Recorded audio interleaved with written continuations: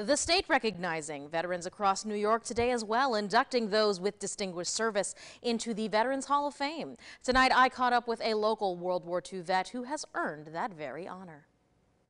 Harry Williams says once he made up his mind to join the Army, there was no changing it. I was 17 and a half. I wasn't, I had lied what my true age was, and my mother didn't want to sign. What you could call a little white lie led to a truly distinguished service during World War II. Williams was a forward observer on open air tanks in the 62nd Armored Field Artillery Battalion. We traveled with the infantry. In other words, what I'm saying to you is, as they took a target, we were right behind, firing ahead of them to give them protection.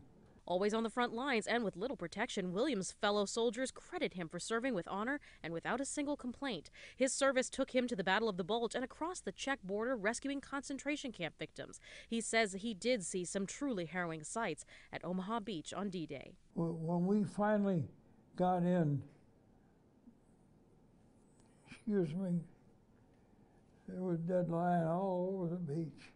Everywhere you could see, men were some were, the water edges were red with blood. For his bravery, Senator Neil Breslin nominating him this Memorial Day to be inducted into the State Hall of Fame. Williams says he's humbled, but the real credit shouldn't go to him.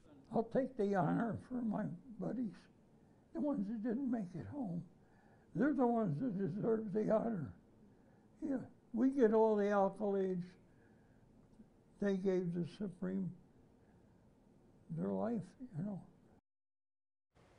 And Mr. Williams, truly inspiring to talk to, and all that emotion that he showed really makes you think about everything our veterans go through. Absolutely. So important to hear their stories. And Cap, you know as well as I do, we're able to enjoy our freedoms, live yes. in this great nation because no, of men like him. You're absolutely right. Uh, they are heroes. And uh, we reflect today. Today and this whole weekend was a weekend of reflection.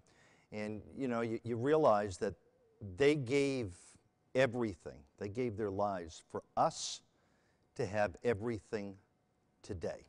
No doubt. Thank you.